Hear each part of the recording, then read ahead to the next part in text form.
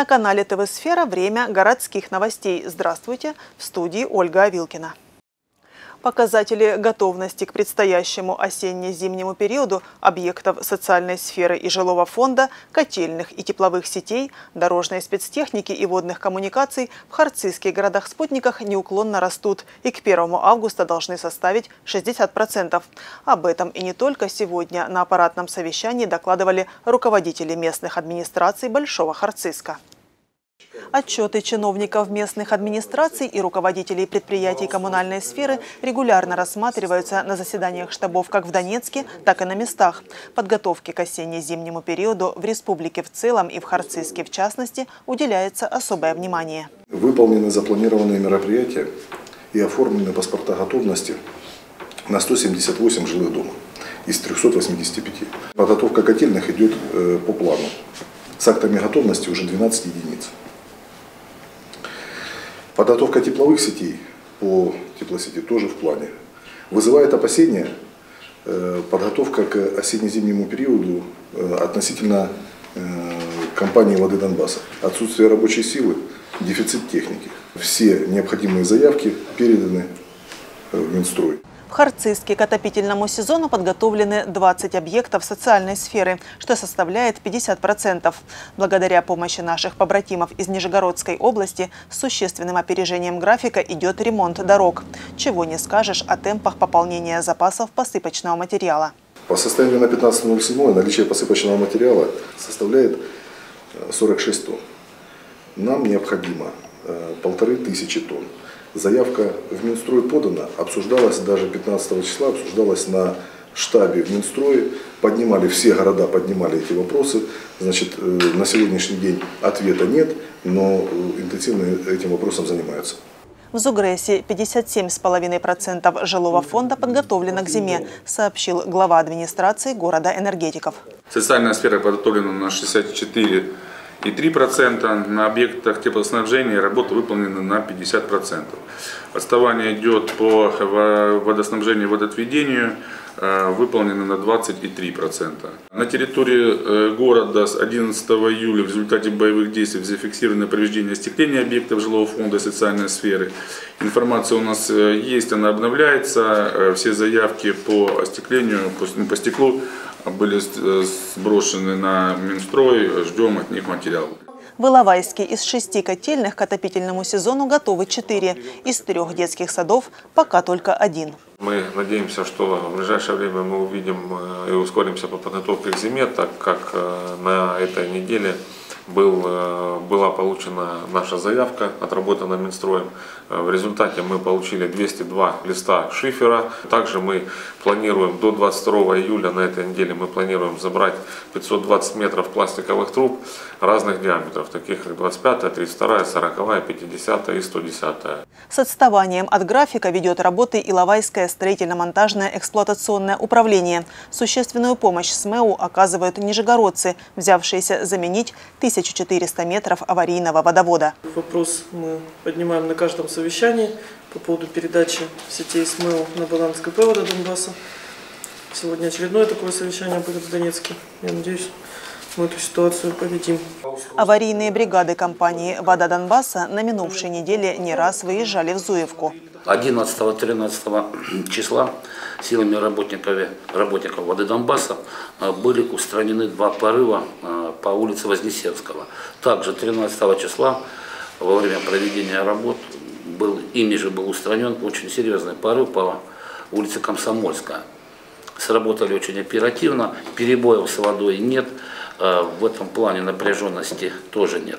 Проблему нехватки питьевой воды сегодня остро ощущают жители десятков населенных пунктов Донбасса. В их число уже не первый месяц входит Иловайск. Подвоз технической воды машины МЧС осуществляют в поселке Водобуд и Николаевку.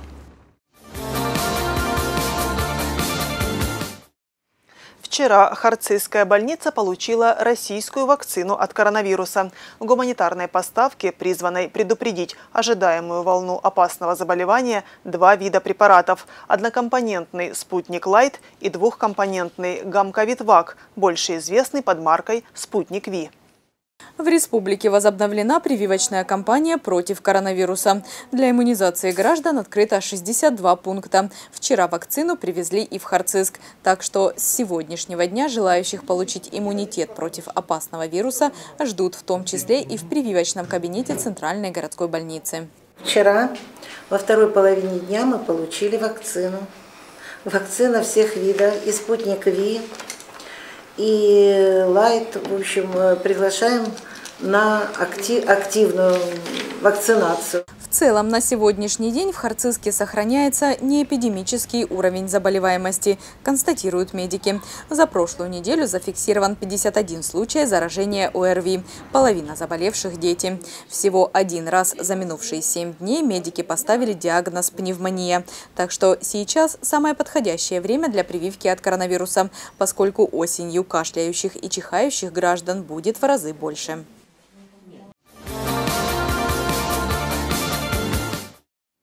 В одном из весенних выпусков городских новостей мы уже рассказывали вам о программе «Навстречу Крохи», утвержденной в феврале этого года Министерством здравоохранения ДНР.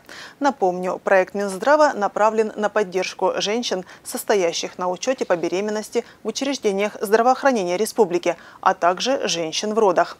За пять месяцев реализации программы более 7 тысяч женщин стали ее участницами. Оценили все плюсы проекта и пациентки Харцизского роддома, где сегодня с утра побывала наша съемочная группа. Планируя беременность, наверное, каждая женщина задумывается о предстоящих затратах. Ведь как ни крути, а тут не обойтись без всякого рода анализов и прочих исследований, которые до февраля нынешнего года были платными.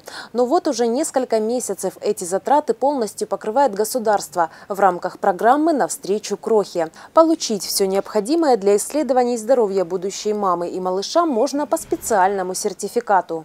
Пакет, э, вернее не пакет, а сертификат вручается каждой женщине при взятии ее на учет по беременности.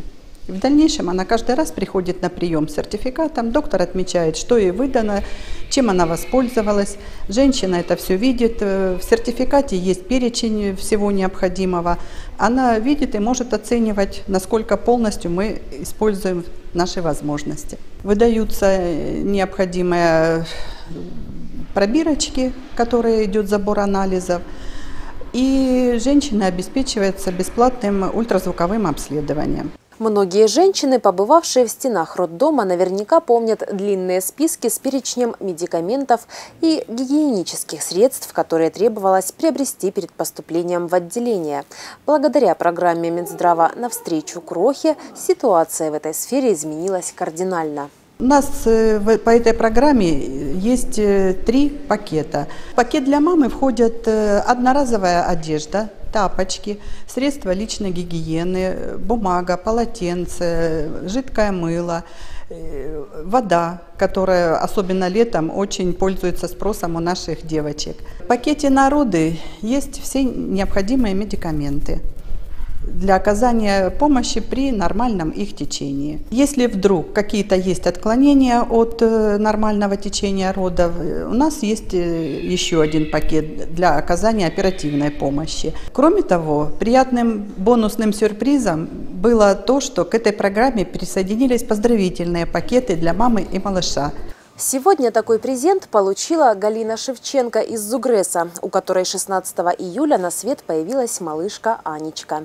На момент нашей съемки женщина готовилась к выписке. Подарочный набор, который презентовали роженицы медики отделения, стал для Галины приятной неожиданностью. В увесистой сумке обнаружились средства гигиены, пеленки, одеяльце и даже одежда для малышки.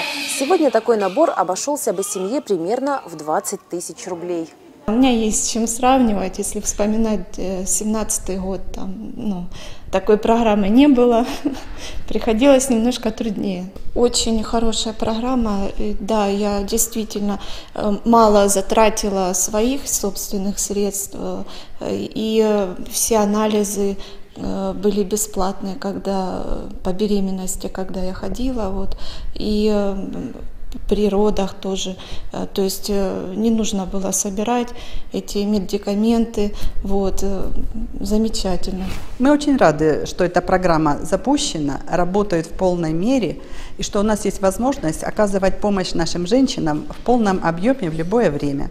В Минздраве республики напоминают, что стать участницей программы «Навстречу Крохе» может любая беременная женщина, стоящая на учете в женской консультации.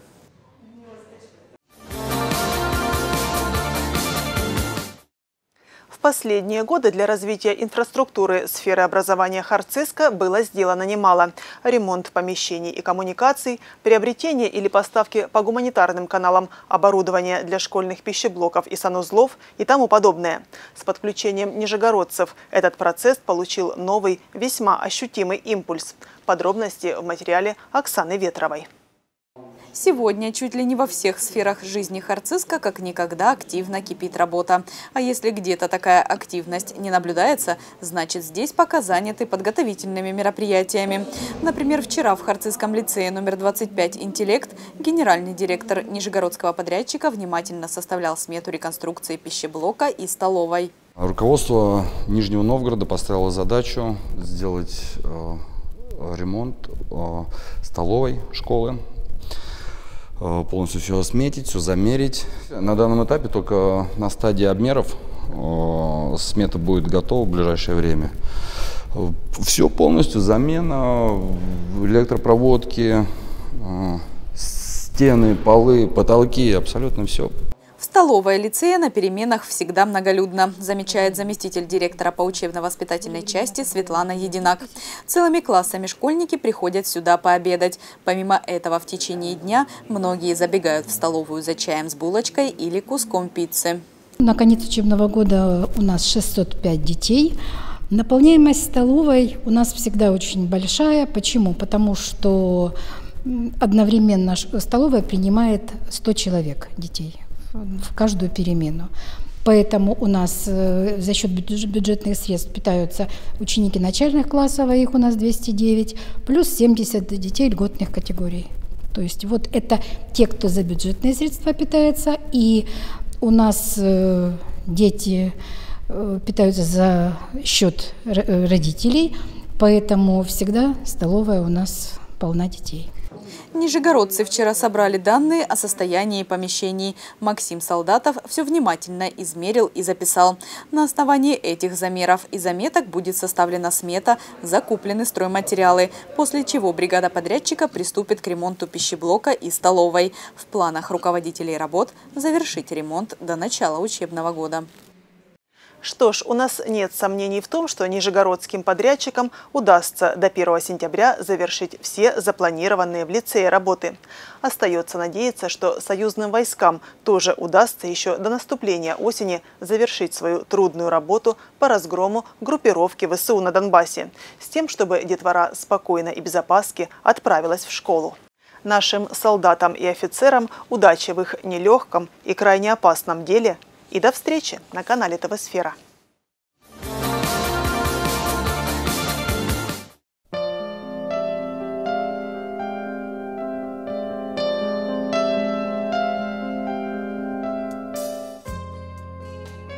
В мае 1787 года Екатерина II заложила первый камень в строительство Преображенского собора.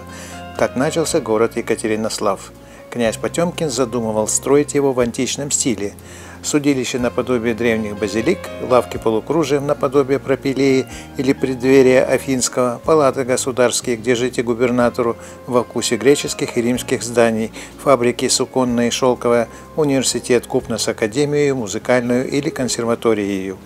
К сожалению, преемник Екатерины II император Павел I повелел город переименовать в Новороссийск, а стройки по всей губернии остановить конце XIX века ренессанс Екатеринослава обеспечила Екатерининская железная дорога, связавшая город с угольными шахтами Донбасса и рудниками Криворожского бассейна. Недаром славный город на Днепре стал немаловажной составляющей Донецко-Криворожской республики, порушенной в угоду киевским чиновникам от партии. В честь одного из них, Григория Петровского, 20 июня 1926 года и был переименован Екатеринослав в Днепропетровск. Через 90 лет название города изменили очередной раз, и все идет к тому, что это еще не последнее переименование. 20 июня над республикой проходит холодный фронт от Днепра. Днем переменная облачность, возможны осадки. Температура воздуха 26 градусов. Западный ветер 5-8 метров в секунду. Ночью облачно, временами дождь. Температура воздуха 16 градусов, северо-западный ветер 3-6 метра в секунду.